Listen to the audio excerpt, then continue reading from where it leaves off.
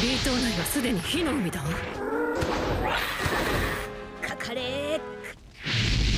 Kinnaman and the Straw Hats are riding Brownbeard, but a dragon that spits flames makes the whole area catch fire, and this puts everyone's lives at risk because tanks with chemicals can explode. Nami then has an idea, but from the position of her hands, I think she's been watching too much Naruto. かれかかれニンニンニンって何しとるんだ侍の真似忍者だぞサンダートラップ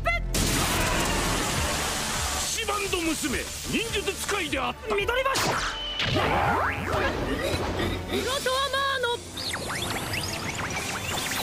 We just saw that Nami's jutsu worked and was enough to leave the dragon bewildered, and then his friends finished defeating him.